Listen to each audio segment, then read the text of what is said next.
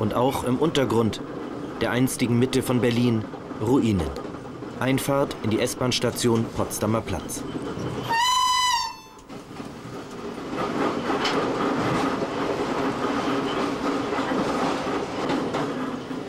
Züge halten hier schon seit 29 Jahren nicht mehr. Nach dem Bau der Mauer im August 1961 gingen die Grenztruppen der DDR in der verrammelten Station auf Posten.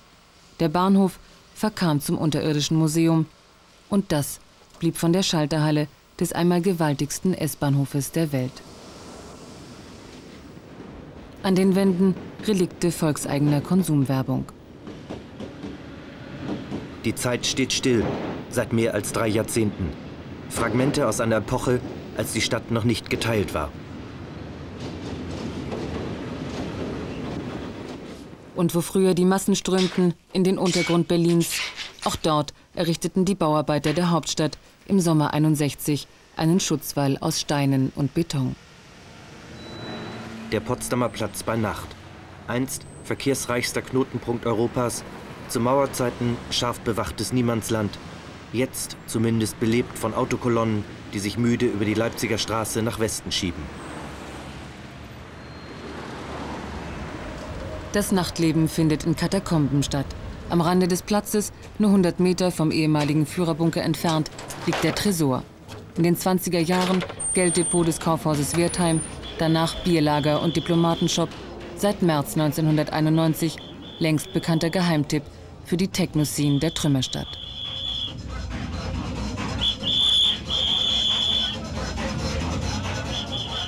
Im Interieur längst vergangener Welten wiegt sich die Szene im Techno-Taumel, selbstgemachter Schipper-Sound mit Zahnarztbohrerklängen und reichlich Bässen.